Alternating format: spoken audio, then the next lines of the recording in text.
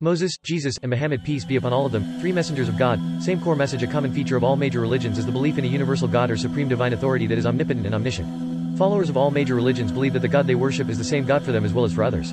Moses, Judaism, the followers are known as Jews, and they believe in the prophetic mission of Prophet Moses peace be upon him. Moses taught purely monotheism that there's only one God. The following verse from Deuteronomy contains an exhortation from Moses peace be upon him, Shama Israelu Adonai Eloheinu Adna Echad, is a Hebrew quotation which means, Hear, O Israel. The Lord our God is one Lord. Duke 6 to 4 Consider the following verses from the book of Isaiah.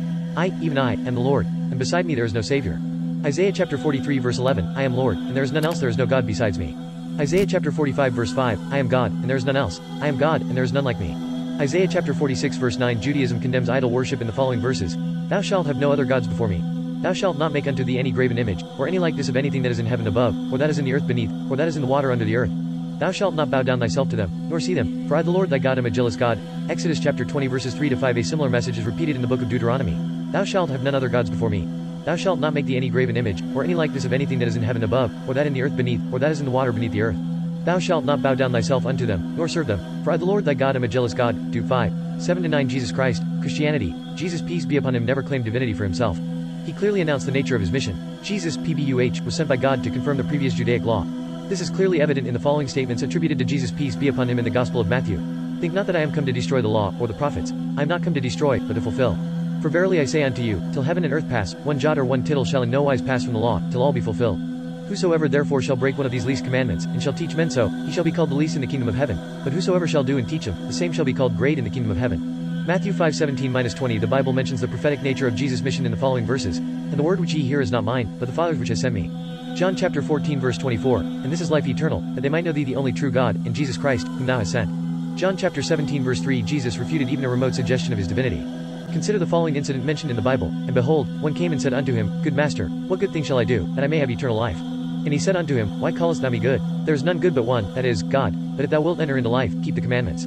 The above statements from the Bible refute the Christian dogma of divinity of Jesus and of salvation through the sacrifice of Jesus EACE be upon him. Jesus exhorts keeping the commandments as the means to achieve salvation. Matthew 5:17-20 Jesus EACE be upon him of Nazareth.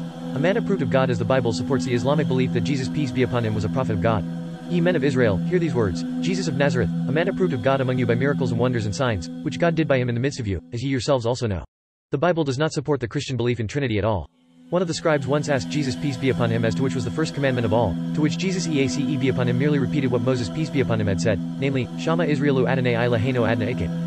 This is a Hebrew quotation, which means, Hear, O Israel, the Lord our God is one Lord. Mark chapter 12 verse 29, Muhammad peace be upon him. The most concise definition of God in Islam is given in four verses of Surah Ikhlas which is chapter 112 of the Holy Quran. Say, He is Allah, the one and only. Allah, the eternal, absolute. He begets not, nor is he begotten, and there is none like unto him. Quran 112 to 1-4 The word backquote asama is difficult to translate. It means backquote absolute existence, which can be attributed only to Allah, all other existence being temporal or conditional. It also means that Allah is not dependent on any person or thing, but all persons and things are dependent on Him. Surah Ikhlas equals chapter sincerity, the touchstone of theology. Surah Ikhlas, chapter 112 of the Quran is the touchstone of theology. Backquote Theo in Greek means God and logy means study. Thus theology means study of God and to Muslims these four lines definition of Almighty God serves as the touchstone of the study of God. Any candidate to divinity must be subject to this backquote acid test. Since the attributes of Allah given in this chapter are unique, false gods and pretenders to divinity can be easily dismissed using these verses. All major religions that believe in the existence of God ultimately, on a higher level, believe in one supreme God. All religious scriptures actually speak about monotheism i.e. belief in only one true God. Moses, Jesus, and Muhammad, peace be upon them all, were three different messengers sent at different times, but their message was one that's there is only one God, worship him alone without associating partner with him. By the passage of time most of the religious scriptures have been distorted and changed except the Quran by people for their own benefits. The creed of many religions has thus been distorted from monotheism to pantheism or polytheism. God Almighty in His last and final revelation, the Quran says warns the people of the previous scriptures, then woe to those who write the book with their own hands, and then say, this is from Allah, to traffic with it for a miserable price. Woe to them for what their hands do right, and for the gain they make thereby. Quran 2-79, Allah knows best.